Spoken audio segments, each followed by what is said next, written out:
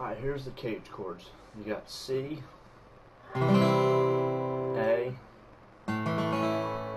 G, E, and D. Okay?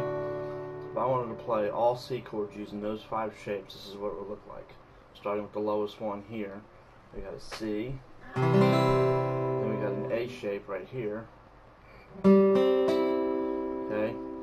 Then we got a D shape, uh, sorry, G shape, which is right here, technically.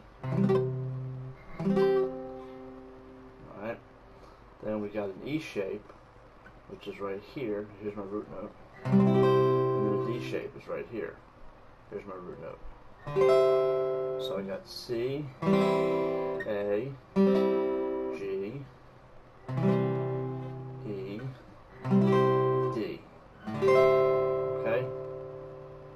hope that makes sense. And you just do all the other chords. So say you have an A. Alright, you start with the lowest one here. Here's your A shape. Alright, then you go to the next letter in CAGED, which is G. So here's an A. So technically you have a G shape right here.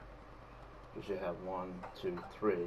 And these are open back here. So you have the root note, third, and the fifth.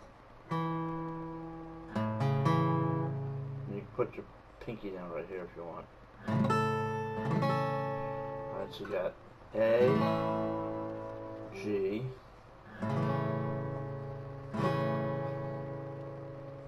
then you have an E shape, which is right here. There's your root note, and here's your E shape right here. Alright, then you got a D shape, which is right here. Then you got a C shape as an A, so this is right here. Now, in the case of your finger, your first finger is right here, use that as a capo. So if you were playing the A with this shape here, instead of having the capo right here and just playing it like this, use the first finger as a capo. And it takes time to work at it, you know. So that's I would get started with that. Let me know if you need any more help.